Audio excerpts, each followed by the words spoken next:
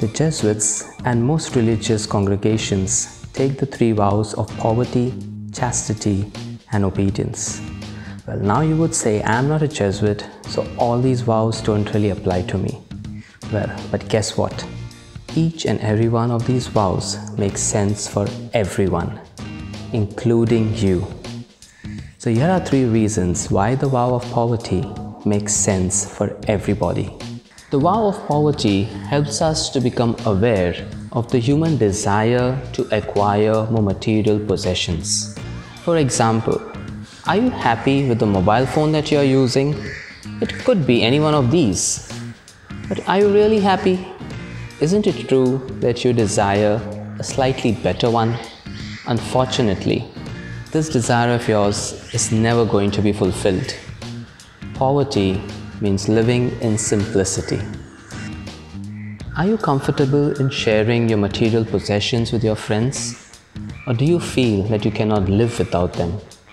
Perhaps you have already developed an inordinate attachment to these possessions. The vow of poverty helps us to ensure that we control the gadgets instead of the gadgets controlling us.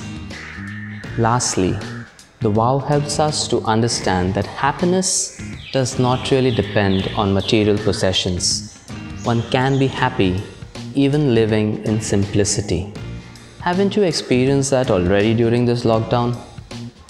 Your happiness depends on your relationship with the people around you, your relationship with God, and also your relationship with yourself.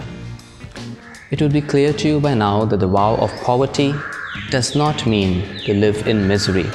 On the contrary, we are called to ensure that all people live a dignified life with access to good food, clothing, shelter, education, and employment opportunities.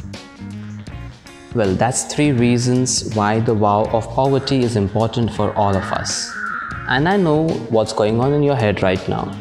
It's my own money and I have worked hard for it. Can't I just spend it the way I want to? Of course, but is it also possible that we can expand our horizons from this I, me, myself perspective to look at also those who are lesser fortunate than us? Are you ready now to take the vow of poverty in your life?